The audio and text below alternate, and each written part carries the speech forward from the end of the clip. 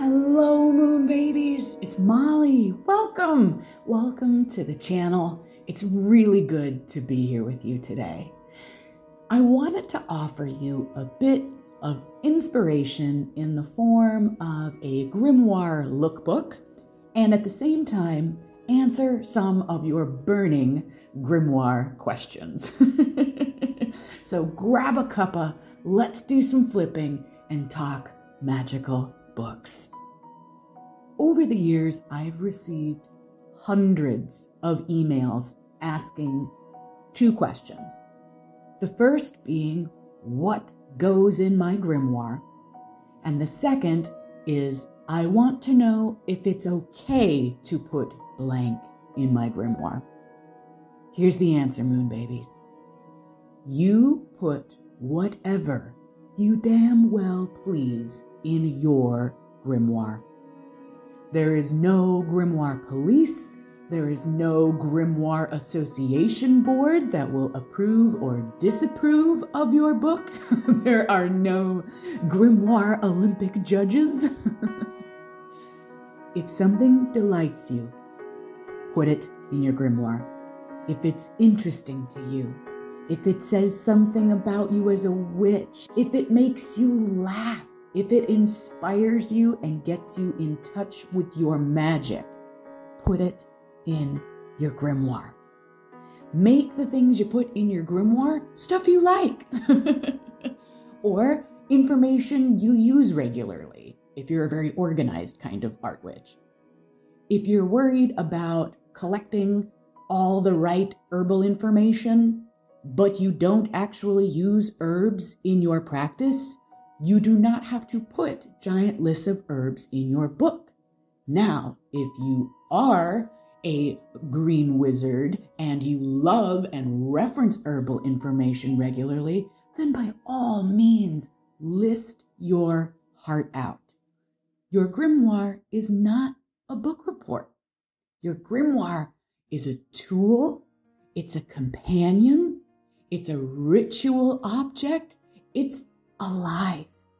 Now, if you want to be a monk and dutifully copy every speck of information you find from other sources into your book because that's fun for you and tickles you, then do that.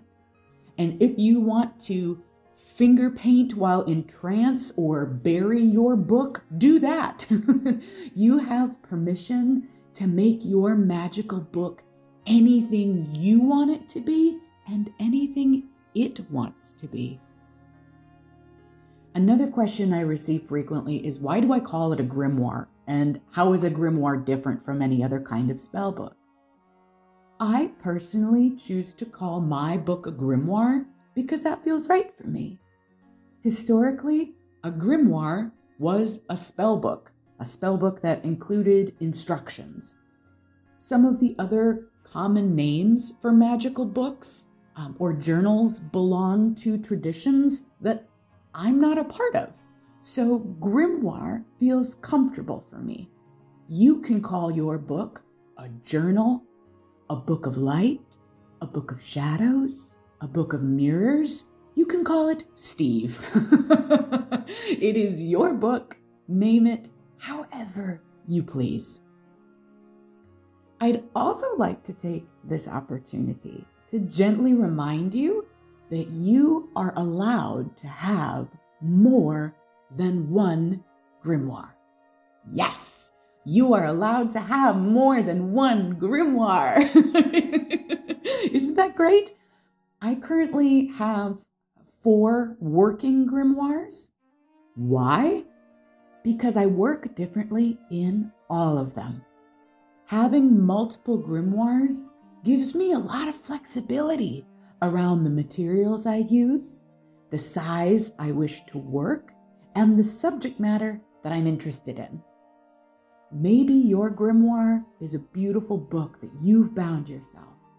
Maybe it's a sketchbook, a found book. It could also be a ring binder, a keychain ring book, a collection of scrolls, a folio of loose papers, a receipt organizer full of recipe cards, or a combination of all of those things. I've begun thinking about my grimoire not as one specific book, but as a magical library that grows along with me.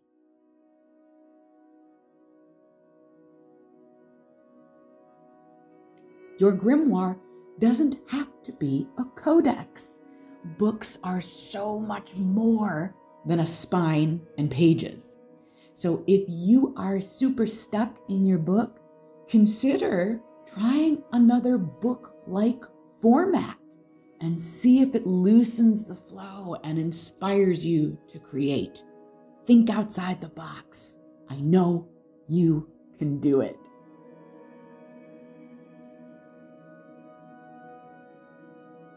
I hope this little lookbook and grimoire pep talk gets your inner art witch all fired up and feeling tingly.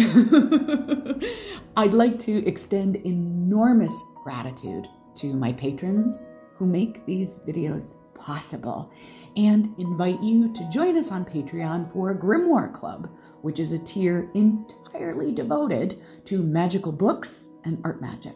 So, thank you so much for tuning in and for watching Moon Babies. Until we speak again, witch on, witch boldly, and be well, my friends.